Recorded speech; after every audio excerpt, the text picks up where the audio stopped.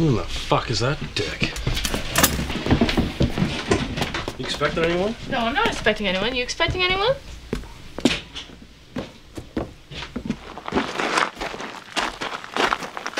What do you want? Who the hell are you? Hello, Rick. How the fuck do you know my name? Just relax, Rick. I was wondering if you know anything about any of the stuff that's been going down around here lately. What stuff? I don't know. You tell me. Why would I know anything about anything going around around here? You sure? You wouldn't be lying to me, would you, Rick? Why would I lie to you? Tell you what, Rick. You take that. now, you find yourself you might remember something that you forgot to tell me, you can give me a call. Well, I'm having a flashback right now, actually, about something I wanted to tell you. Just, I wrote it down, I think. Yeah, there it is. Copy right there for you. Very nice. You know what that means? It means fuck off. We'll see you soon, Rick. And what do you mean by that? Precisely what I said. That's why I chose the words.